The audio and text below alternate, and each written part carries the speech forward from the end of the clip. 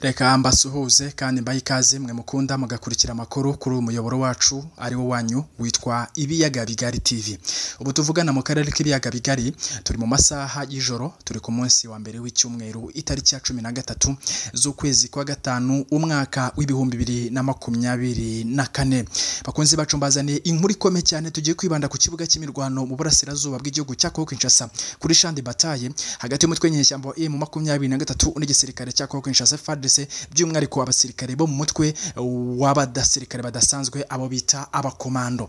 Ubu bakunzi bacu mwe tuvugana ubu ngubu nakubwira yuko inkuru nkuru ikomeye cyane iri kuva kuri Chande Batanye nuko cyangwa ku kibuga cy'imirwano ku mirongo y'urugamba nuko igisirikare cya Congo Kinshasa FARDC by'umwihariko Special Force y'abasirikare basirikare babashije gufata mpiri abasirikare benshi cyane b'umutwe nyeshyamba wa M makumyabiri na gatatu.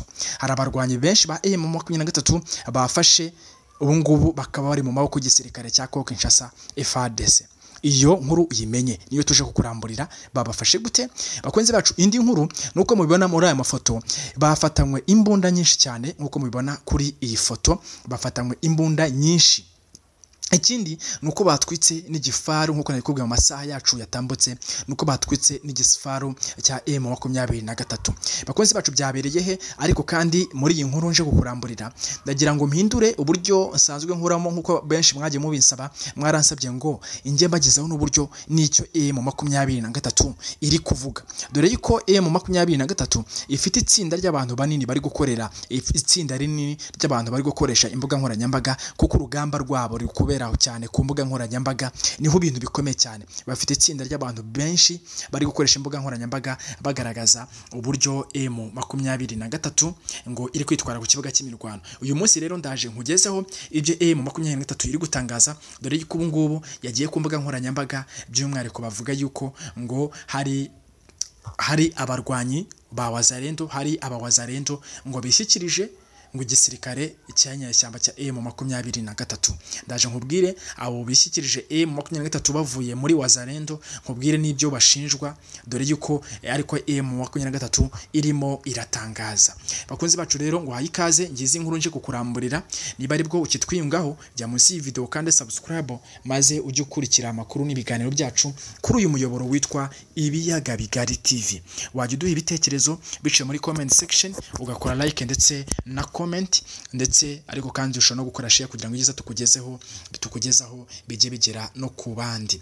Bakunzi bacu rero ngwaye ikaze. Reka nkubwire yuko nk'uko mubibona kuri aya mafoto. Igisirikare cya Kongo Kinshasa FARDC biciye mu mutwe w'abasirikare badasanzwe batwaye bafashe bugwate cyangwa bafata abasirikare bakiri bazima ba M makumyabiri na gatatu babafatira muri town ya Matanda ya Mutanda cyangwa eh, bakaba babafatiye muri Mutanda ahantu FARDC nakubwiye eh, FARDC yamaze kwigarurira ihambuye umutwe nyeshyamba ebo makumyabiri na gatatu. Aba basirikare rero banafatanywe bikomeye cyane imbunda nyinshi cyane. Bakunzi bacu bakaba bavuga ngo we are back home because our army FARDC has controlled the entire locality of Mutanda. Abakora kavuga ngo igisirikare cya Kongo Kinshasa ngo kirimo kiratuje by'umwihariko abaturage bakavuga bati abaturage bo muri bo muri Mutanda baragira bati ngo twagarutse mu rugo i Mutanda tukaba twe twarahunze aha hantu. Ariko ngubu twagarutse Mutanda kubera ko igisirikare cya Kinshasa cyamaze kubohora iyi lokalite ya Mutanda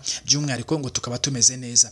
FARDC ikaba iri kurasa n'ubundi mu bindi bice bitandukanye bita bwaranda ahantu by'umwihariko hegereye na Mutanda. Amakuru by'umwihariko ari kuva mu gisirikare nuko military source in the area claim that the Congolese army captured element of coalition M23. Amakuru akavuga ati bakavuga bati igisirikare cyako Kinshasa cyafasha abarwanyi benshi benshi cyane ba M23 ndetse babafatana n'imbunda ndetse kandi bakaba bafatiye ku kibuga cy'imirwano muri Mutanda. Amakuru kandi akavuga yuko rero banabashije no kubafatana imbunda nyinshi nkuko nari mbikubwiye. Amakuru akagira ati M23 propaganda only remain on social network for the moment. Amakuru akagira ati imbaraga ubu ngubu za M23 ahantu zisigariye zisigariye ku mbuga nkoranyambaga no mu bitanga y'itangazamakuru the business on the protection of community no longer hold because everyone see how they are immersed in the race to find minerals. Amakuru akagira ati bakavuga bati igisirikare cy'inyeshyamba cya M23 barimo barakimenesa cyangwa bakimereye nabi cyane ku kibuga cy'imirwano aho bari barajwe ishinga no kwiba amabuye y'agaciro. Amakuru agakomeza avuga ati we are a professional army and we are required to respect human right amakuru akavuga ati twe nk'igisirikare cya Kinshasa kigendera ku mahame by'umwihariko ku mahame aranga ibikorwa by'umwihariko byo kubaha uburenganzira bw'ikiremwa muntu ndetse eh, no kugendera ku mahame agenga igisirikare cy'umwuga ntabwo dushobora kwerekana aba barwanyi ba M makumyabiri na gatatu bishyikirije igisirikare cya Kinshasa cyangwa bafashe matekwa. This is why we cannot do what the rebel do. Niyo mpamvu tutagomba kubereka itangazamakuru nk'uko umutwe w'inyeshyamba wa M makumyabiri na gatatu ubikora. Iyo ufata abantu ubabeshyira ko ari abasirikare b'igisirikare cya Congo Kinshasa. Amakuru akavuga ko abarwanyi ba M makumyabiri na gatatu eh, bafashwe bakaba bafatanywe imbunda ngo bafashwe neza cyane ngo kandi biteka igihe nikigera ngo bazerekwa ibitangazamakuru mpuzamahanga. Amakuru akagira ati neutralized others captured with weapon we are determined to impose peace whatever the price to pay. Amakuru ati ati turimo turagerageza gukora ibishoboka byose no gushyira imbaraga by'umwihariko mu kiguzi icyo ari cyo cyose kugira ngo dushyire iherezo ku mutwe w'inyeshyamba wa M makumyabiri na gatatu kuko byatangajwe n'igisirikare cya Kinshasa FARDC ngayo nguko bakunzi bacu murumva ko abarwanyi benshi ba M makumyabiri na gatatu bafashwe bakaba ngo badashobora kwerekwa itangazamakuru bakora ko igisirikare kigendera ku mahame ya kinyamwuga ndetse no kubaha ikiremwa muntu ntabwo bashobora guhita berekwa itangazamakuru cyangwa cyangwa ngo bafate nabi niyo mpamvu rero bagomba kubafata neza. Amakuru akavuga yuko babafatanya imbunda nyinshi cyane ndetse bakaba eh, banafashe n'abarwanyi benshi ba M makumyabiri na gatatu. Izi mbunda mubona nizo babafatanye. Nakubwira yuko igisirikare cya Congo Kinshasa cyanarashe cyanatwitse burende ya M makumyabiri na gatatu. Iyi burende ya, M makumyabiri na gatatu batwitse yari irimo uwari witwaye wari kwirashisha ndetse n'abamwunganira batatu. Bivuga ko ari abarwanyi bane ba M makumyabiri na gatatu bishwe bari muri iyo burende basanga abandi barwanyi benshi ba M makumyabiri na gatatu bafashwe. Bakunzi bacu ndagira ngo nsubize comment mukomeje kumpereza muvuga muti M makumyabiri na gatatu yaba ifite igifaro ati kuki utatubwira ko ari ingabo z'u Rwanda ziri kurwana? Bakunzi bacu ndagira ngo nkwibutse yuko ntabwo ngiye nk'umunyamakuru ntabwo ndi ahari njyewe ugomba kwemeza yuko FRDC ari kurwana ku kibuga cy'imirwano Eh, eh, RDF ari kurwana ku kibuga cy'imirwano. Njyewe mvuga ibyo ibyo ibiri ku kibuga cy'imirwano. Gusa ndakwibutsa ko ibitangazamakuru byinshi byo muri Congo ndetse yewe na guverinoma y'igihugu cya Congo Kinshasa ivuga ko iri kurwana n'ingabo z'u Rwanda RDF ariko kandi nkongera nkakwibutsa yuko RDF ndetse na guverinoma y'u Rwanda ihakana ko idafasha iyi makumyabiri na gatatu ndetse idafite n'ingabo ku butaka bw'igihugu cya Congo Kinshasa. Nuko mbivuga. Nuko muzajya munkurikira nuko muzajya mu- mubyumva abakunzi bacu kuko ngomba kuba umunyamakuru. Umunyamakuru avuga uko impande zombi zishinjanya. Ntabwo ashinja uruhande. Ibyo rurimo rumwe ruvuga urundi.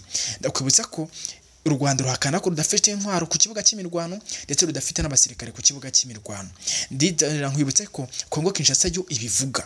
Ibyo rero ni ukubihanga amaso tukabitega iminsi.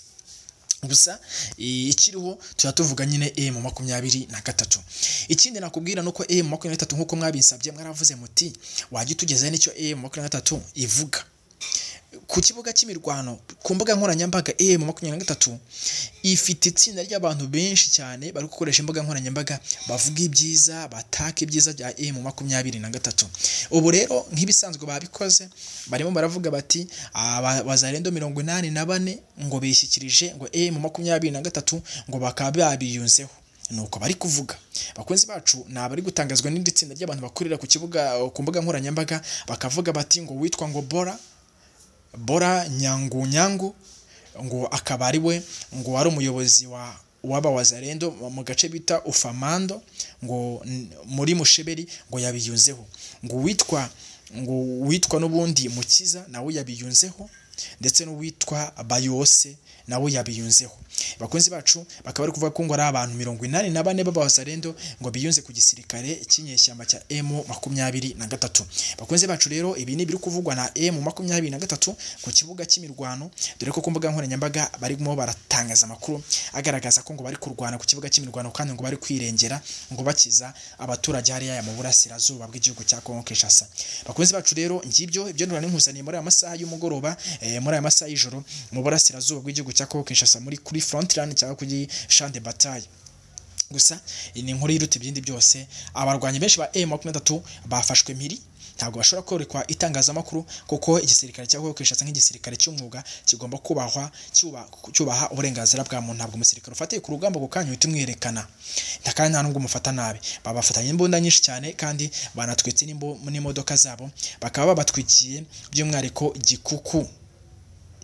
Bakaba banafashe mutanda ubu ngubu FARDC ikaba ikiri kumisha ibisasu muri Bwaranda bakunzi bacu rero reka mpinira ahangaha ndakubitsa ko uyu muyoboro wacu witwa ibiyaga bigari TV jya munsi y'video kandi subscribe maze ujye ukurikira amakuru n'ibiganiro byacu bya buri kanya. Ndagusaba kujya jya ubidehera ibitekerezo ukora comment ukora share eh, bakunzi bacu kugira ngo ibyiza tukugezaho bigere no ku bandi. Reka ngushimire ariko kandi turacyakwisegura ko mu karere ka Afurika y'Uburasirazuba ubu ngubu hari ikibazo gikomeye cyane cya internet kubera ko nakubwiye yuko cable cyangwa imigozi itanga interinete iri munsi y'inyanja yagize ikibazo yagize ikibazo ubwo interinete eh, ntabwo iri kugenda neza mu- bihugu byose byo muri Afurika y'Uburasirazuba ni ukuvuga u Burundi u Rwanda Uganda Tanzania n'igihugu cya Kenya. Tanzania ho yo byabaye ikibazo cyane nkwibwira yuko interinete itanga eh, imigozi itanga interinete mu karere eh, ka Afurika y'Uburasirazuba ica mu nyanja. Muri uko guca mu nyanja rero